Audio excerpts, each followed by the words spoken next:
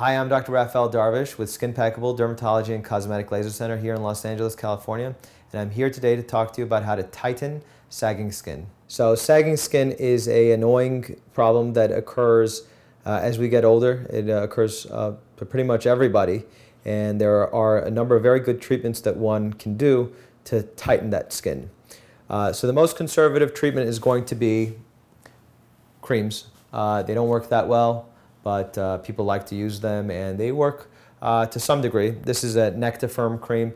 Um, it's a firming cream for the neck uh, made by a company called Revision. We recommend it. Um, how much it really tightens though is, uh, is is a, question that uh, many of our patients have, and it's always very difficult to say whether it's going to tighten by 10% or 50% or what, because it is a very uh, subjective issue when it comes to skin tightening. Uh, really, the main uh, thing that is done throughout the country for skin tightening is cosmetic lasers, and there's a lot of very good ones uh, available. the ones that we use here in the office are the Thermage laser uh, really that can be used anywhere on the body, on any skin type. Uh, it's a no downtime procedure based on radio frequency and it definitely helps to tighten up the, the skin. Uh, we use it on the face, uh, legs, uh, neck, really anywhere, uh, and it does a good job.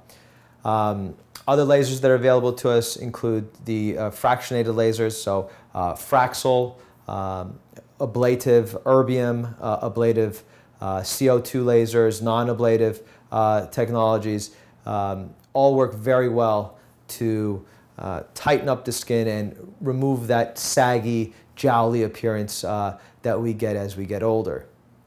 Um, there are many other lasers also that uh, do well at tightening, but I just uh, mentioned those three because it really is, uh, those really are the main lasers used throughout the country for tightening.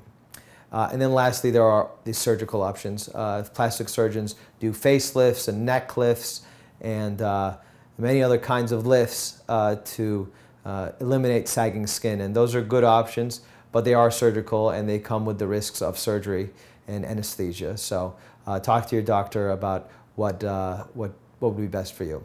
I'm Dr. Raphael Darvish, and that's a brief overview of how to treat sagging skin.